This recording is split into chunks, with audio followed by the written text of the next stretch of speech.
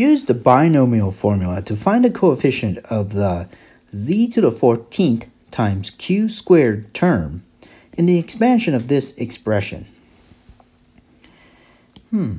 The First thing you want to do is actually write the binomial expansion formula, which is um, n choose 0 times a to the n times b to the 0 plus n. Choose 1 times a to the n minus 1 times b to the first power uh, plus n. Choose 2 times a to the n minus 2 times b to the second power plus lots of terms in between.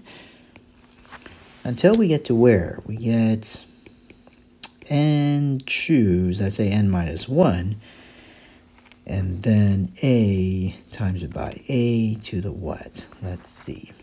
Times it by uh, b is up to the n minus 1, so this has to be a to the first power, that's right, plus and choose n a to the 0 power times b to the nth power.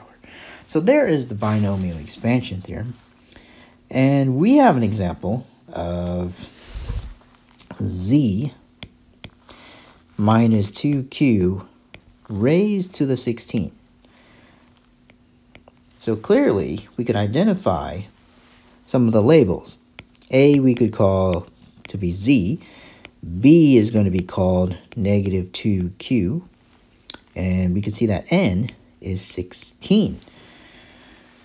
So how do we get, let's say, um, q squared. We want to get q squared. So I don't think we have to look very far. In order to get q squared, we're going to need this pattern right here, right?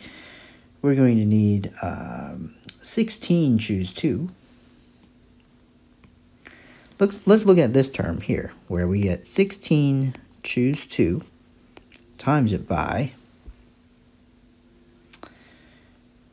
a, which is z, z to the what? That's going to be z to the 14th power.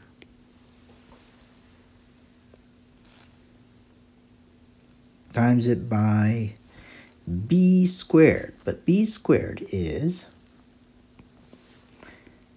times it by b squared. But b is negative 2 times q. And then we are going to square it. Remember, what we're looking for is the coefficient. Let's do 16 uh, choose 2. Remember, that is 16 factorial over 14 factorial times 2 factorial. Oops, wrong color. Let me change the color back. 16 factorial over 14 factorial times 2 factorial. We still have z to the 14th, uh, but I'm going to multiply this by 4. Can everybody see that you see at 4 now?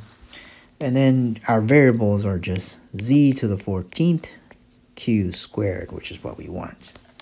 Only thing to do is simplify that coefficient. So we have 16 times 15.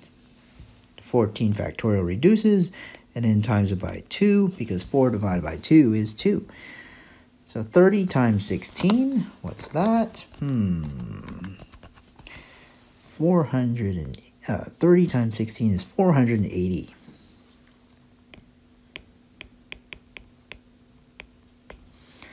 The coefficient is 480.